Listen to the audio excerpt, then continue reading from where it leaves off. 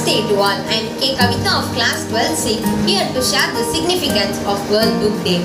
World Book Day is a celebration to promote the enjoyment of books and reading. Each year on 23rd April, celebrations took place all over the world to recognize the scope of book, a link between the past and the future and the bridge between the generation and culture. World Book Day had changed life through love of books and shared reading. Our mission is to promote reading for pleasure, offering every child and young people the opportunity to have books of their own. The first World Book Day in UK and Ireland took place in 1997 to encourage young people to discover the pleasure of reading books. 23rd April is a natural choice for the UNESCO's General Conference to pay a worldwide tribute to the authors and the publishers.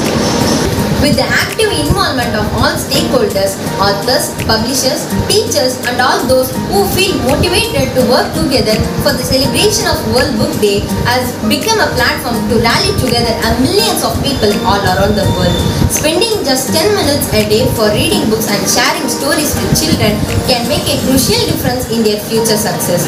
A book is a dream that you hold in your hand. Let us all develop the habit of reading books and enrich ourselves. Thank you.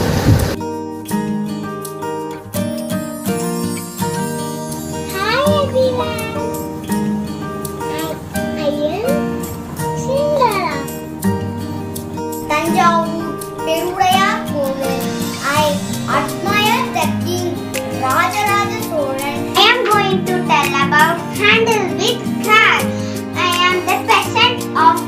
story. One day a king placed a heavy stone in the middle of the road.